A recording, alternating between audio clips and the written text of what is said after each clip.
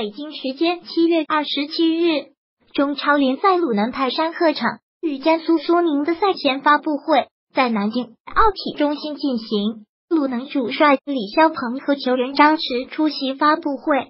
李霄鹏确认格德斯会首发登场，他的位置是前场自由人。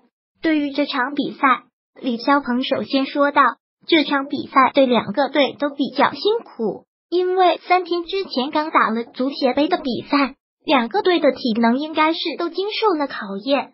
我想明天是一场艰苦的比赛。”和李霄鹏一起出席发布会的张弛直言：“像主教练说的，三天一场球，现在天气又那么热，所以我们主要以恢复为主吧。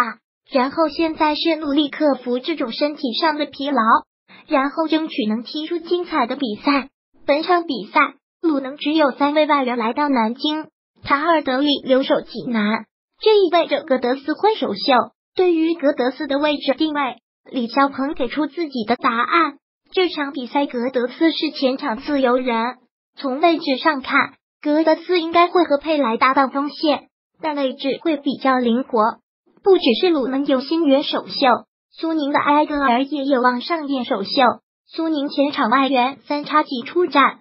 对于如何应对苏宁的外援三叉戟，张弛也给出自己的看法。我觉得不管进攻还是防守吧。